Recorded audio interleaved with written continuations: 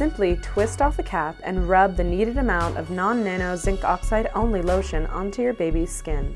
Pediatrician tested, mother approved, leaving your baby's skin as soft as, well, a baby's bottom.